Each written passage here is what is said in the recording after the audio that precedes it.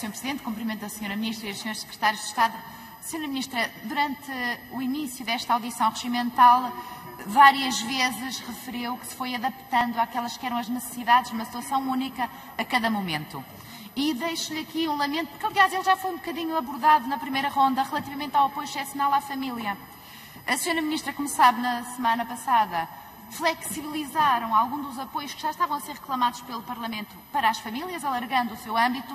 No entanto, não tiveram em conta uma medida já aprovada pelo Parlamento e que era um clamor para que este apoio efetivamente chegasse como era necessário às famílias, este apoio excepcional.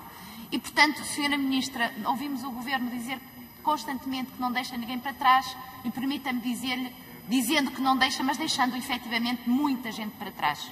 E aqui voltou a fazer a mesma coisa e deixou muita gente para trás.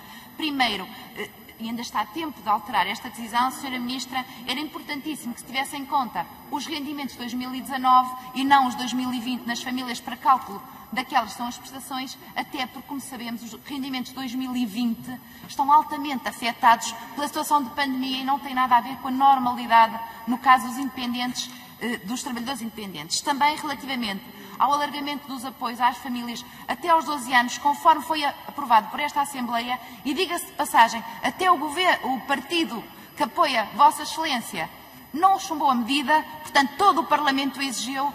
Gostava de lhe perguntar primeiro, Sra. Ministra, porquê é que o Governo não teve em conta aquilo que é a vontade dos portugueses desta Assembleia, inclusive do partido que a apoia, alargando aqueles que eram os apoios nos termos em que foram aprovados por esta Assembleia?